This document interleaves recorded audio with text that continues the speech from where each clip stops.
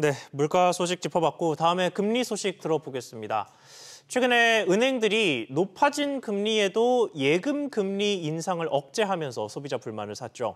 한동안 이렇게 인상을 망설였던 은행들, 특히 저축은행들이 다시 예금 금리 경쟁에 돌입했습니다. 저축은행 정기예금 평균 금리는 지난 2월 이후 다시 4%대에 안착하는 모습입니다. 구체적으로 어떤 상품에서 금리가 얼마나 높아졌는지 짚어보겠습니다. 오서영 기자. 네, 오서영입니다. 네, 최근에 어떤 예금 상품들이 나오고 있는 겁니까? 네, 먼저 일주일 전 K뱅크가 5천억 원 한도로 연 4% 정기예금 특판을 내놨습니다. 3개월, 6개월 상품 금리도 0.2%포인트 올렸는데요. 디어 OK저축은행이 연 4.51% 금리의 정기예금을 출시했습니다. 현재 페퍼저축은행과 웰컴저축은행을 포함해 연 4%의 금리를 보이는 곳이 30곳에 육박한 상황입니다.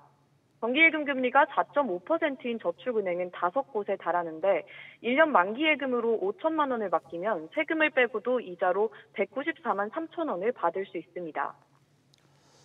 네, 최근 들어서 한동안 저축은행의 예금 경쟁이 좀 시들했었는데 다시 불이 붙는 것 같습니다. 네, 그렇습니다. 지난 4월 이후 다시 이자를 올려 예금 유입으로 자금을 확보하려는 움직임으로 보입니다. 지난 11월 121조 원을 넘었던 저축은행 수신잔액은 올해 1월 이후 계속 내리막입니다. 한국은행 경제통계 시스템에 따르면 지난 3월 말 기준 상호 저축은행 수신은 116조 431억 원으로 전달보다 2조 원이 더 빠졌습니다. 저축은행의 경우 사실상 예적금이 유일한 자금 조달 창구인데 수신 잔액이 감소하고 있는 겁니다.